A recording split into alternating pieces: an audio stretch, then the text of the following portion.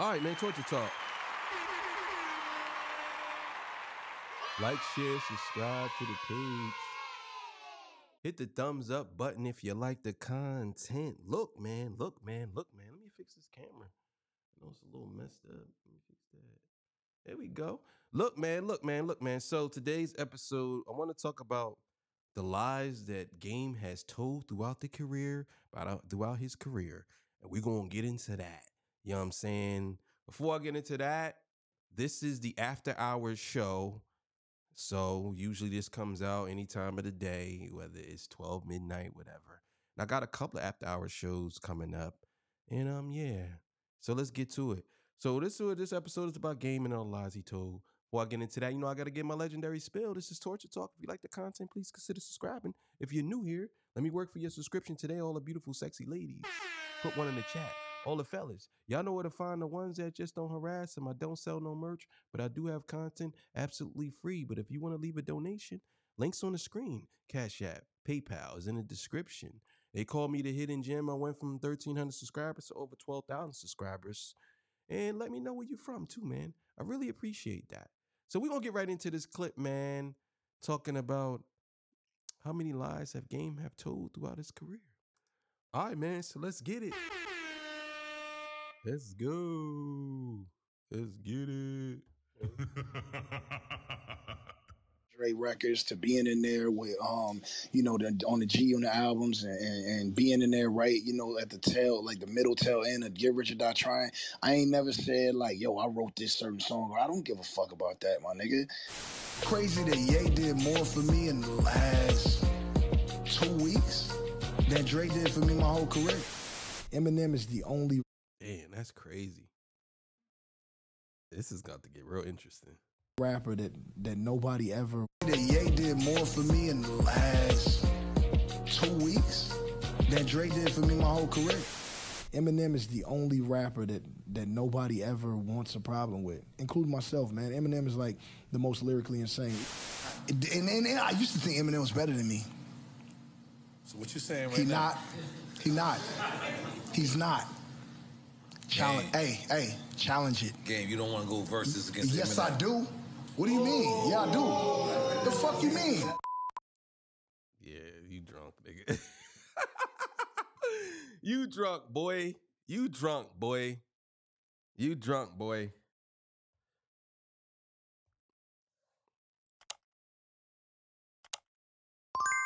Now, I don't know about you guys, but I've gotten to a point where whenever I hear the game say something, I don't believe it.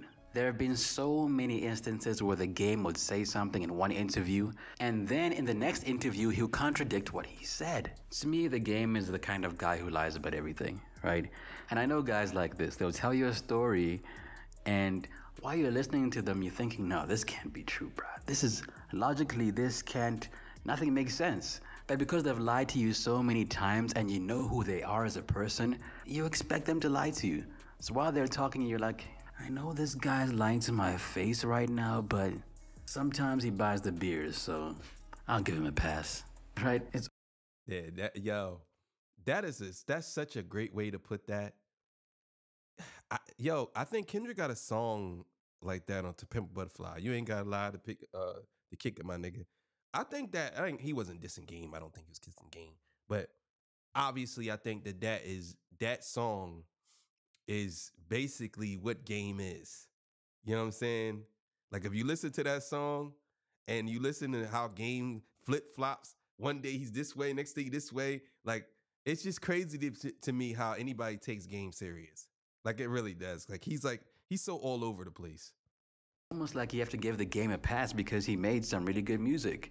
The game dropped about 10 albums, and a lot of people didn't think he would bounce back after he began beefing with 50. So, as far as his career goes, the game has proven himself. But sometimes it's almost as if the game forgets that he's on camera and we can watch him in one interview and watch him in another interview and compare notes. And we can tell, brother, you're lying. Right? So the game and Wack 100 get on a clubhouse call and they begin talking about the documentary and who wrote it. But I'll get to this in a minute. But swiftly after this conversation ends, Wack 100 says something really ridiculous. He goes on to imply that the game wrote 50's What Up Gangsta.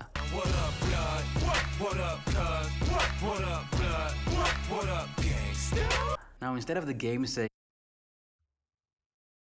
Now I don't know. I don't know about that. I don't. I wouldn't say he did. I highly doubt that.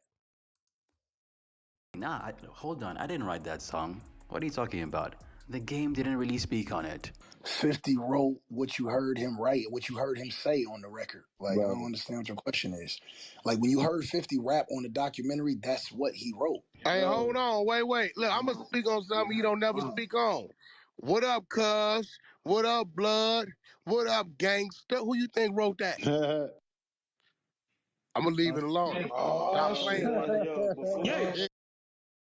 Yeah, Wack be trolling a lot. I'm not gonna lie. I would love to have a conversation with Wack 100. I don't, I'm gonna try to figure find out what clubhouse to be in, but I want to have a one-on-one conversation with him because I want to ask him some questions about the gang life in in California, because I want to learn more about the whole denominations because I think it's fascinating. I think they definitely should make. I know they have some documentaries and stuff about, but I want to learn about the gang culture and, not the gang culture in these other states. The reason why I say California because I think it's so prevalent there and it means much more than what we think it is. So I want to definitely talk to Wack 100 about it. I know he know a lot about it, but uh, I don't think he wrote that song. Uh, uh, I think he capping. I think he playing around. Now, he just don't be speak. Bro just don't be beating his chest, bro. He likes a lot of shit. He can beat his chest. What he say? I Uh, sit back. What he say? he just Black. I don't, sit 'cause that back. ain't him. Okay, cool. So the game does Now, I will say this. I believe that the game does write a lot of stuff. Now, that's one thing I can't take away from the game. I believe he's a he I don't know, I won't say he's a fat a phenomenal rapper, but he's a fast writer I can see cuz I can tell that he what's the name, but he got a lot of albums. So obviously he knows what he's doing when it comes to rapping, but I don't me personally don't think that he uh is a groundbreaking lyricist. I don't think that, but let's keep it going. an interview. And the interviewer is like, okay, game, did you write What Up Gangsta? And then the game says, nah, I didn't write that song. But I was in the studio when it happened and I influenced the creation of the song. You wrote "What Up Gangsta" for Fifty. I didn't write What Up Gangsta for 50. I was in there and part of the influence. He ain't, you know, he ain't capping. He really, about that life, but so am I. So that's where we that's where we bumped heads at. But yeah, nah, I didn't do no right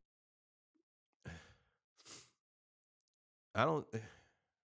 The thing is, I don't think that the question was, "Was you about that life?" And I see Game does that a lot. He always want to validate who he is and how he is and where he know and who he from and where he know, uh, where he from and who he know.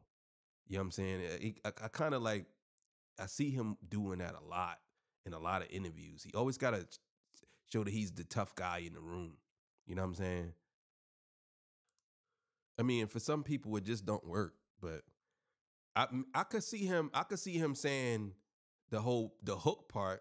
Maybe he influenced Fifty and saying, but I think Fifty. I think Fifty did a song before that using that hook. You know what I'm saying? I think he. I think he used that. It it was similar to that. So I, I think that that's cat. for 50 50 and do no writing for me. But here's where the story gets interesting. According to 50, Game wasn't even around when they were recording What Up Gangsta. So at this point, it becomes a question of who do you believe? 50, the guy who has a reputation for telling the truth most of the time, or the game? Now let's get into more lies that the game has told. Now let's go back to the clubhouse interview with Wack 100 and the game. Before talking about the song What Up Gangsta, Game talks about 50's involvement in the documentary once more, and essentially says that 50 didn't really do much for him on this album. But here's where the problem lies. When the Game and 50 were beefing around 2005, 50 went on to claim that he wrote most of the album, and we're talking about the documentary here. And naturally, the game denied these claims, saying that he wrote the whole thing, except for 50's parts. But it's 2024 now, and thanks to YouTube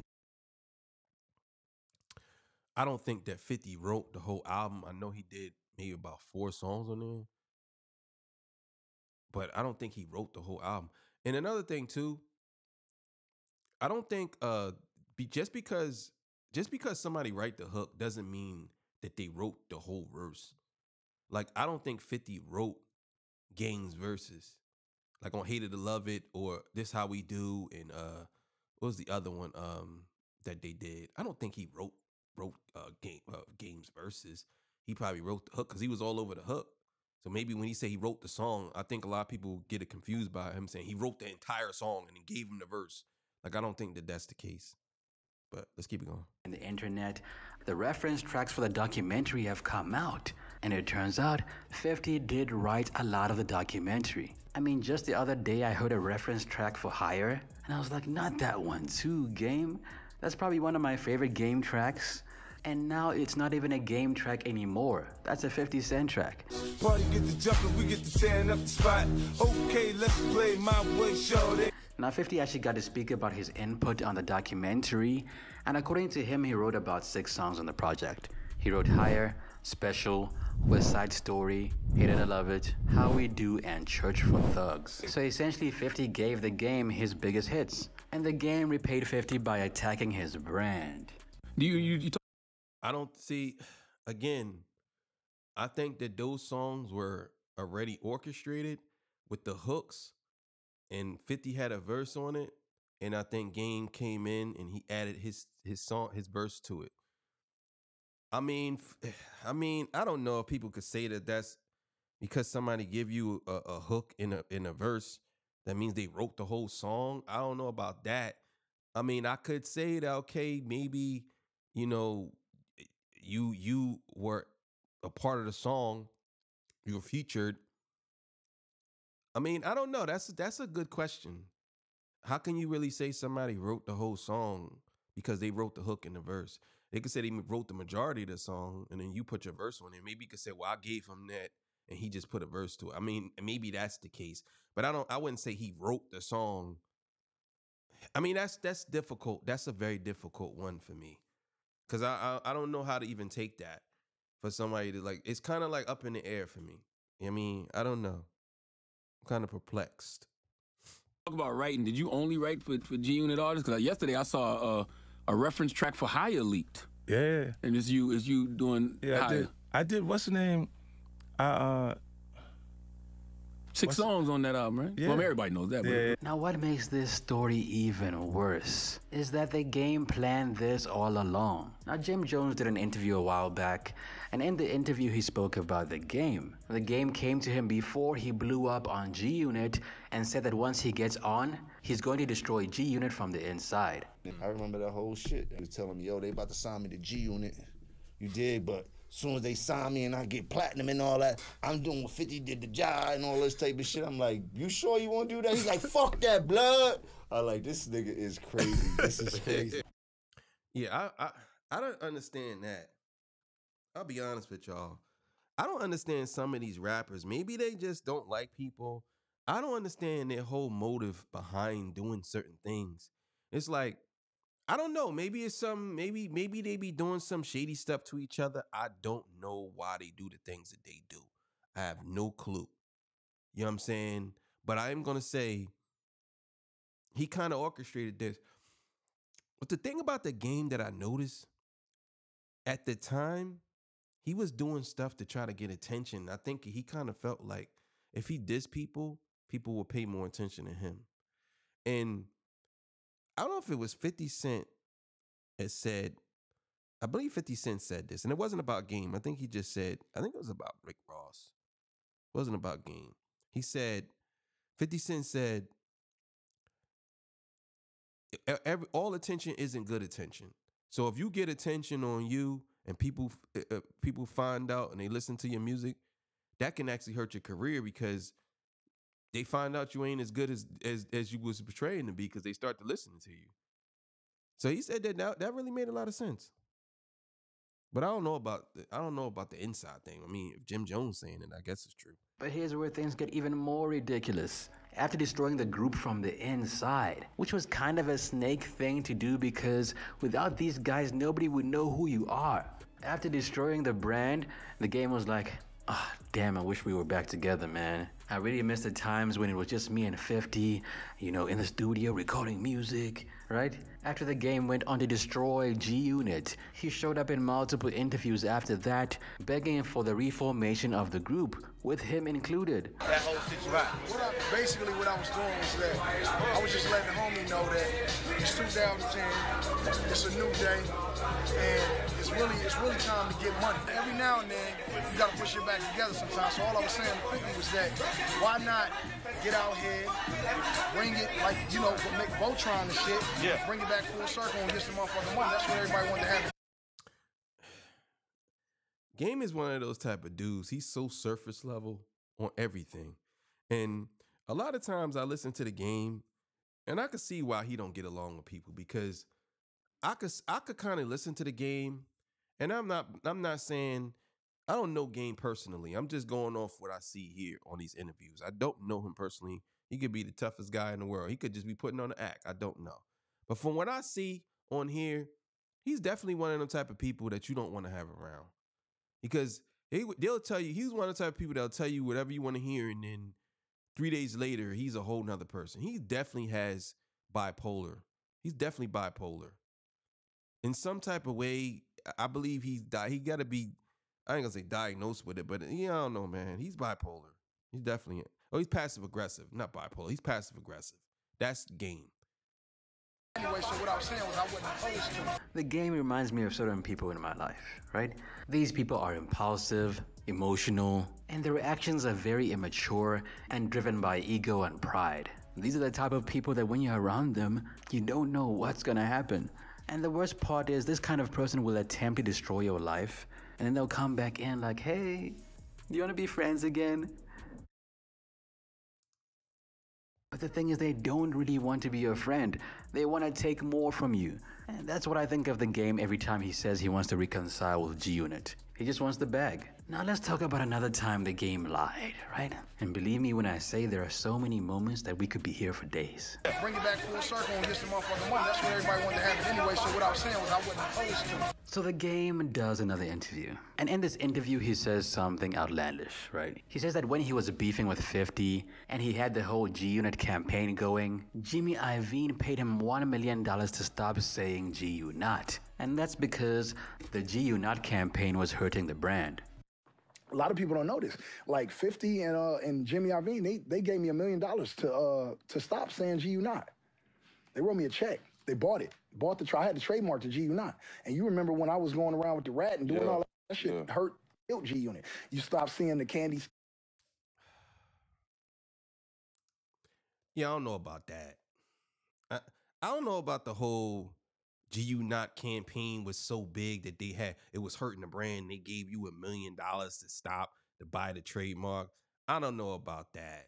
I don't know about that. I know that I know they probably I know y'all probably had a conversation about it, but giving you a million dollars to stop saying something and you and 50 owned the rights to your to your music at the time. I don't know. I just think that was counterproductive if you did do that.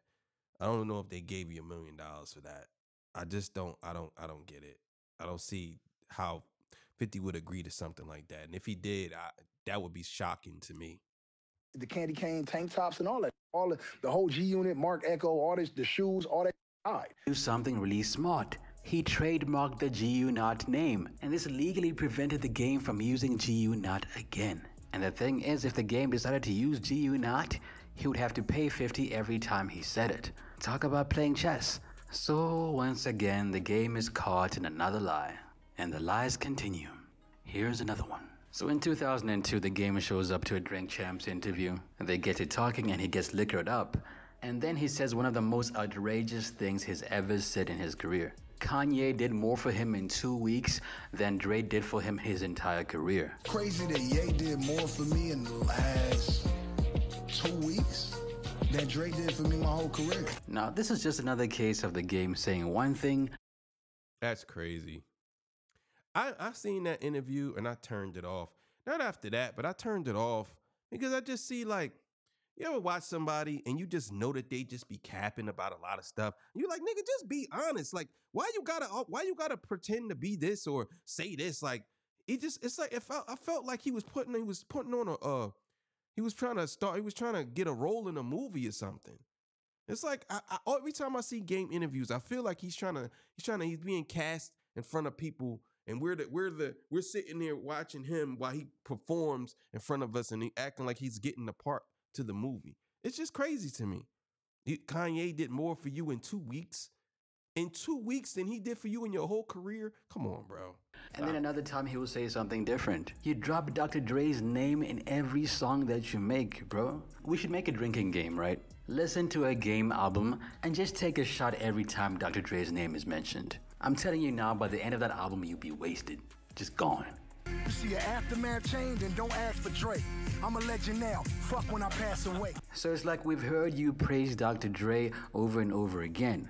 So now the game does an interview with Vlad, and Vlad asks him, So why do you say those things about Kanye and Dr. Dre? To which the game responded by saying, Bro, I- was drunk, man. It's drink champs. What am I supposed to do? Right? And I get it, the game was drunk, you know. I mean, I've said some things I didn't mean when I was drunk. Well, you know when they say they say when you drunk, that's the truth serum. They say you tell the truth when you really express how you feel. Not necessarily tell the truth, but you really tell how you feel. And if you saying you were drunk, that means you probably really felt that way about Dr. Dre. That that probably happened. But you ain't look drunk to me. You look sober as hell, unless you uh, unless you one of them type of drunks that don't look like you get drunk, nigga. I don't understand it. But if I tell you something when I'm drunk, it usually means I mean it. So basically, I was uh hollering at Nore them, a little inebriated, and uh, I said some things that I that I meant. You know what I'm saying? I'm not gonna take it back. I ain't no sucker. But um, having Dre do anything for your project, anything in your career, touch any part of anything that you're doing in life is such a blessing that um I shall not um ever hit on that again. So the game was drink. Yeah. I mean, the level of disrespect that I think that he showed in that interview towards Dr. Dre was crazy. And now he kind of walking it back because he trying to say, well, I was kind of tipsy. I was drunk. I mean, I meant what I said, but it's like, bro, if you was drunk and you you saying you was drunk and you meant what you said, but then you saying like, just say, listen, man, I apologize to Dre. I didn't mean to say all that. Yeah, I mean, it was fucked up. I shouldn't have said that. But it's kind of like you kind of like trying to save face and act like you so tough about it. Like, knock it off, dog. Let's say we give him a pass for that, right? But this is still the case of the game saying one thing one time and then switching up his story and saying something else. And at the same time, it's like, does Game realize he's on a public forum in front of cameras? I've said this before. But you can't say Dr. Dre, your biggest influence, the man that put you in position, that guy did nothing for your career. Doesn't matter how drunk you are, you can't say things like that, you know, because But see, that just goes to show you how what type of person Game is. To me, he's always been like that. He's always been like that. He never really showed like no integrity. I think Joe Buttons got him one time when they was battling, and Joe Buttons said to him, "After this, I'm not, I'm not gonna say anything to you. And if you do, if you say something back to me after we squash the beef, then that just shows me that you lack integrity or something like he said like that. And I think that kind of put Game in a kind of a bind, and Game couldn't come at Joe no more. I mean, he could have, but it would have just looked like an obvious uh, ploy because the way Joe worded it was was fantastic. Joe was so good, man. I don't know why he stopped rapping, man. The internet is forever. People are never gonna forget what you said, including Dr. Dre. He might forgive you for what he said, but he will never forget that.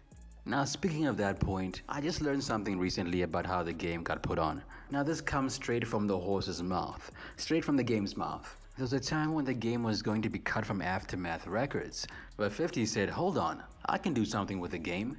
Give him to me. So instead of being cut from the label, the game's career was saved by 50. 50, much as I hated him eight months ago, you know what I'm saying? Which uh, we more than cool now. Uh, 50 was like, what game? No, no, no, no. Like, let me get game. Don't cut game. We're gonna take game on tour. We need a member of like, you know, G Unit is from the West Mhm. Coast. We got Buck from the South, me, Yayo, and Banks are from the East. Like, game would be perfect. Now, I'm sure you all know what I think about this, right? I remember that. I definitely remember that. I remember that that uh he he signed to uh G Unit and um I think after that he started dissing 50 again and then 50 was like well I got the publishing to your music and you won't be able to put nothing out or something like that and and game game was all over the place it's like so hard to follow him sometimes I feel like it's very hard to follow game but let's keep going. I think we're all thinking the same thing. 50 Cent saved your career, and you repaid the favor by trying to destroy his career. And you still want to reunite with the group after everything you did? So at this point, we've all established that the game is the type of person that will stab you in the back to get what he wants. But this is a video on how the game lies, right? So let's get on to the next lie. So the game does an interview with Revolt, right? And in this interview, um, he says something like, I'm the biggest rapper in the world and I'm number one. And yeah, I think if the game was connected to a lie detector test, he would fail that completely. Because I don't even think the game believes what he's saying, right? I think at this point he lies so much that he probably tricks himself into believing his own lies. I mean, come on, game, we've all heard you say that Eminem is a better rapper than you. There's video proof of that. And I wasn't even gonna touch on this topic, but here's another case of the game saying one thing and then switching up his story. Like we all saw him say that Eminem is better than him. Another question. Game, what do you think of recovery? Classic. I love it. Yeah. M's back? M's, I mean, Eminem is Eminem. I mean, that's the that's the only lie he never told.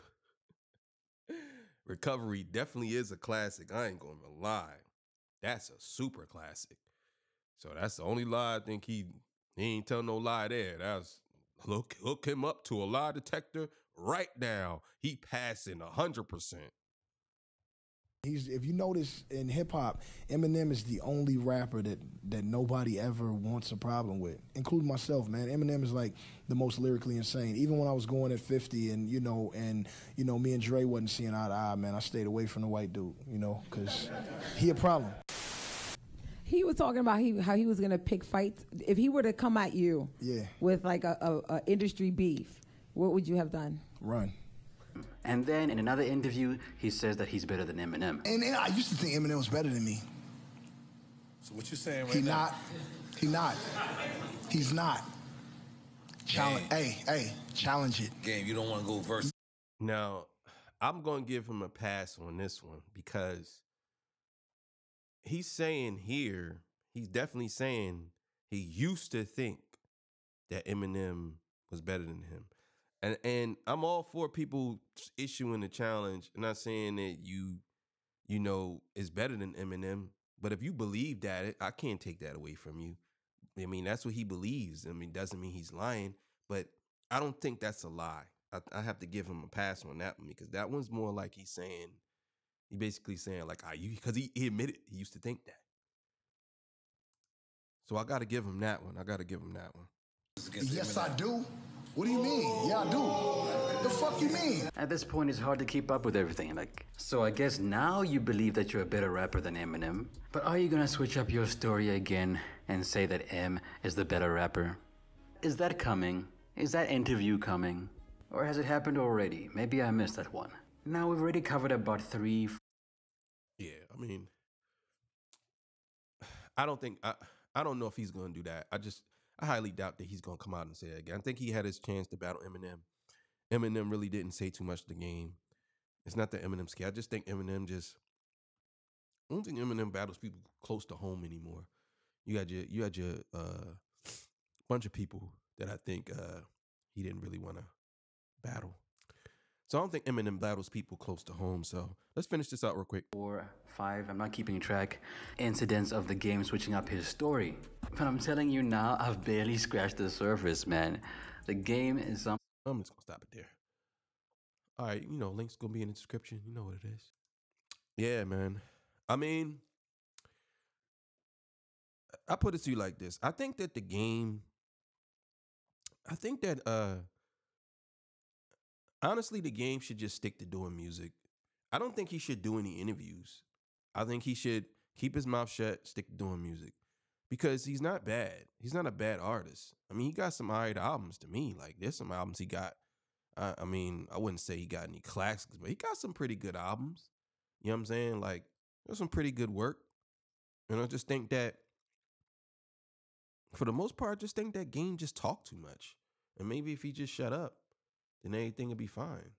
But the other last part, I don't know about that being a lie.